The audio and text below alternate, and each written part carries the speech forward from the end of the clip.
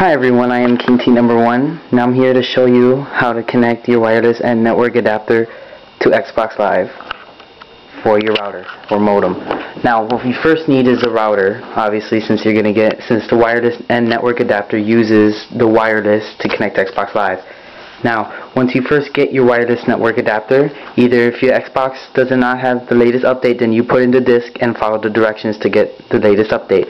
But if you have the latest update, then you just simply connect your Xbox Live net network adapter to the back of the Xbox 360, mm, put it to the USB drive next to the Ethernet port, and once you connect it, then you just simply turn your Xbox console back on.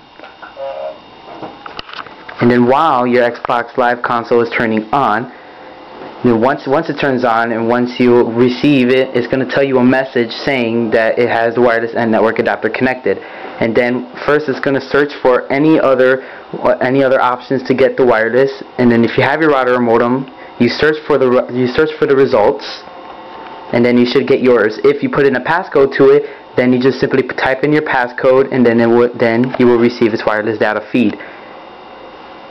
Okay, and then after that you just if it doesn't send you to the screen already then you go to the screen yourself. Just simply press back which I will show you right here.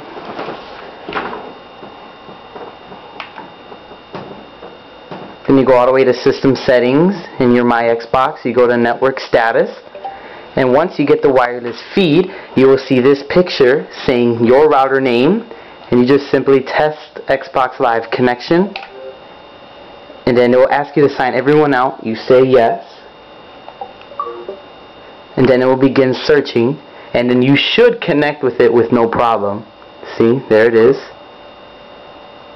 And now it's loading up the Xbox Live from your router data feed before you can go on Xbox Live. Now it'll take a moment for it to load. Now once you're connected you can just simply go back and then you are officially online.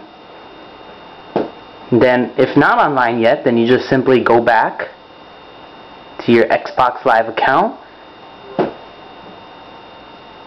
This should say signing in. Then you are on Xbox Live. But but if don't eh, don't do not turn off your router or modem because then you will have to restart all the way from the beginning and I hope this helps you out to connect your wireless N network adapter to Xbox Live.